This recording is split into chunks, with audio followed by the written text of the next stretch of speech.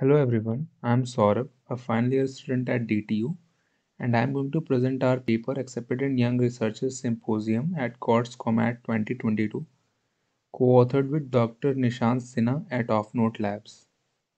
Our paper is related to the problem of virtual try-on.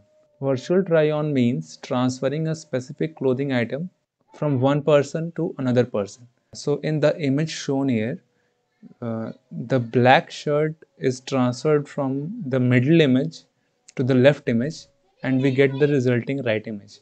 There can be multiple va uh, variations of this operation so we can transfer the body shape, the face or hair color, hair, skin color and other such properties and they are all they all can be considered as variations of virtual try-on. Our paper is based on another paper TryOnGAN, which solves the problem of virtual try-on in a unique way, which is different from other methods uh, prevalent in mainstream literature. They start with training a pose-conditioned StyleGAN model, and this model will generate human body images.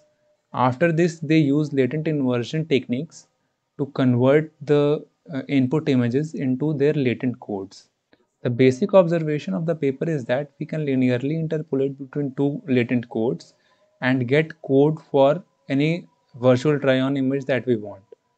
So for this purpose, they train a neural network that will learn the interpolation coefficient for whatever type of virtual try-on we want.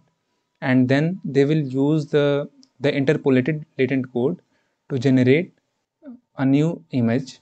So in this diagram, the interpolation block will receive two codes that are obtained after inverting the input images it will interpolate between the codes and input the interpolated code into the StyleGAN model. And the StyleGAN model will generate the image that we want. We looked into some properties of the models trained using, using the TryOnGAN method and we asked two questions.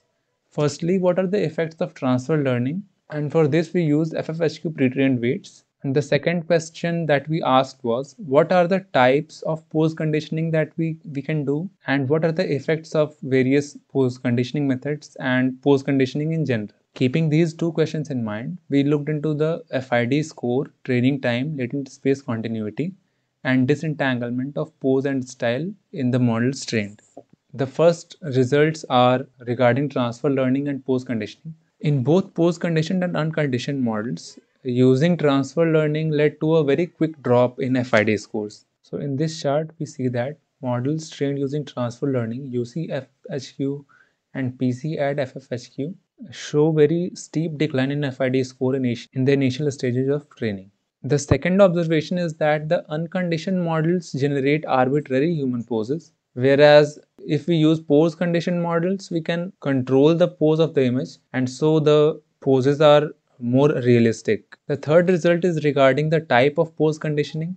In this case, we find that concatenating the pose information into the model uh, is better than simply adding the pose information. This might be due to better flexibility of the concat operation. The second property that we looked into is latent space continuity. In this we see that models trained from scratch without using any pre-trained weights have better continuity in the latent space. The, the images change more smoothly than if we use pre-trained weight. In the image shown, the first row has image from transfer learned model and the other two rows are from models trained from scratch one is unconditioned and one is pose conditioned so we can see that uh, the transfer learned model shows unrelated images in between whereas the models trained from scratch generate continuous results and the dress length is decreasing gradually rather than any abrupt changes in the images. The other property is of color continuity. So in this we looked into how continuous are the color interpolations. In this we find that all the models trained show color continuity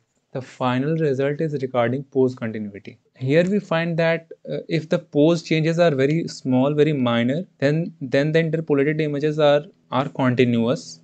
If the pose change is very big, then the intermediate images are not that continuous. This is our final result regarding disentanglement of style and pose and we perform this experiment by mixing latents of different style blocks and we find that the lower six style blocks are responsible for the pose of the image whereas the higher eight blocks of the image are responsible for the style of the image which includes the garment hair color and face. In the image shown here, we can see that each row has the same pose while each column has the same garment style.